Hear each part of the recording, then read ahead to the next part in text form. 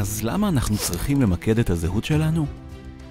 אמרל צומחת וגדלה ויוצאת לשווקים חדשים, בארץ ובעולם. רצינו להציג את החדשנות בחשיבה, את החדשנות בכלים, את החדשנות בעשייה ואת החדשנות ביכולות.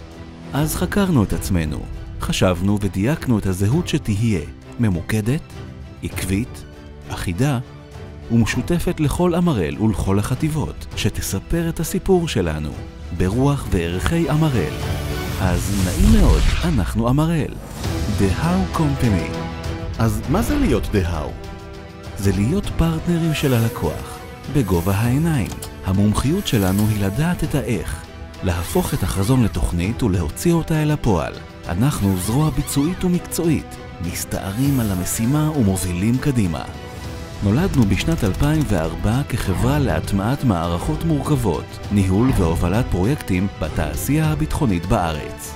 עשור לאחר מכן הפכנו לחברת בת של רפאל, ובשנת 2019 התחלנו להתרחב לתעשיות ולשווקים חדשים.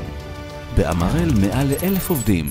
בשנה אחת אנחנו מגייסים יותר מ-150 עובדים, מאמנים 30 אלף אנשים, מייצרים 55 אלף עמודי מסמכים טכניים, פותרים 5,000 תקלות, מבצעים 900 ניסויים ועשרות פרויקטים מסביב לעולם.